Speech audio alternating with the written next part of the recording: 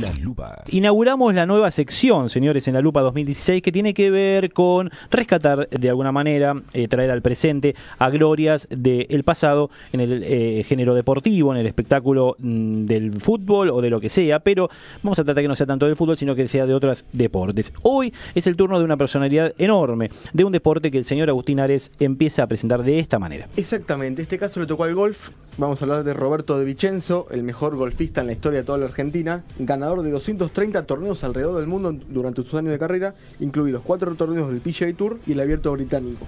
A su vez, es el máximo ganador del Abierto de la República, el torneo más importante de la Argentina, con nueve trofeos.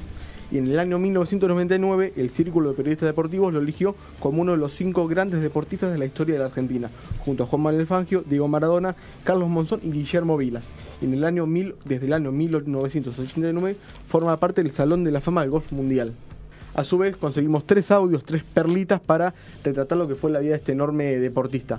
El primero es un tanto extraño porque en el año 2014 el vicepresidente por ese entonces, Amado Boudou, en medio de un acto aseguró que eh, De Vicenzo había fallecido y quedó bastante mal porque De Vicenzo vive, tiene 92 años, actualmente se encuentra, se encuentra descansando después de tan enorme carrera que tuvo, pero bueno, vamos a escucharlo por favor.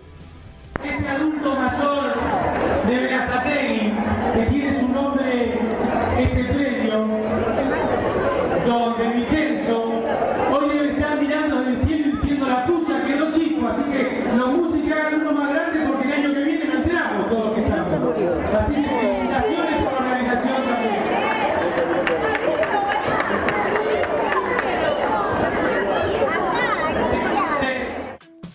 La verdad que bastante cómico ese error, pero bueno. Increíble. De Vicenzo sigue vivito y coleando con sus 92 años de edad. El segundo año, el segundo audio, perdón, es un audio de Raimundo Cabré, socio del Rangeland Golf Club, que cuenta una anécdota bastante peculiar de Roberto que después la vamos a estar explicando. Así que si lo podemos escuchar, por favor.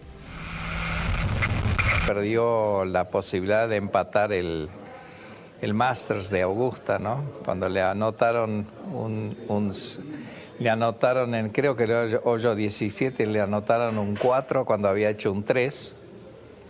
Él firmó su tarjeta y lamentablemente, a pesar de que todo el mundo a través de la televisión y todo lo habían visto hacer el Verdi o el 3, eh, él firmó su tarjeta sin revisarla.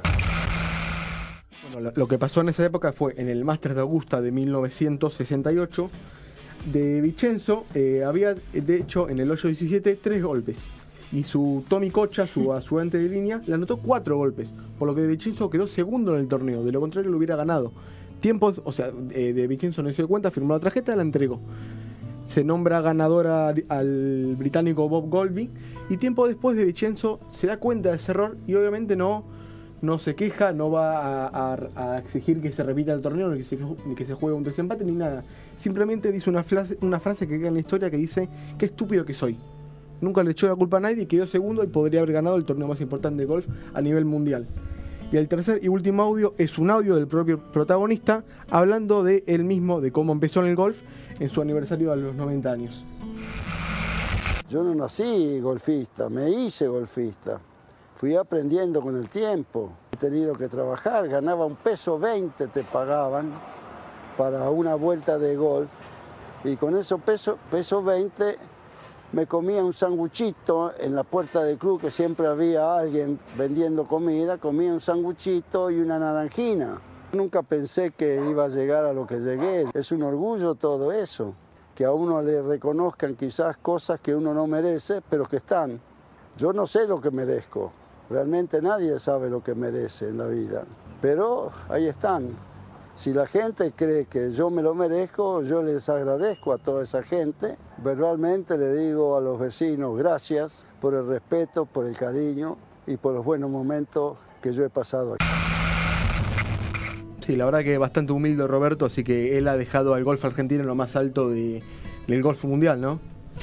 Bueno, muchísimas gracias, Agus. Eh, la- el recuerdo, la mm, eh, referencia, la reseña de un enorme deportista que tuvo la, que tiene la Argentina, porque Roberto está vivito y coleando, y ha eh, mostrado el golf a mm, gran eh, parte del mundo. Este, después, bueno, siguió una línea de, golfistas detrás de Roberto, también muy talentosos. Este, pero este es el, este es el recuerdo, esta es la nueva sección. Recordar, traer al presente, no olvidarnos de alguna personalidad que hizo muchísimo por el deporte, en este caso, Roberto De Vicenzo.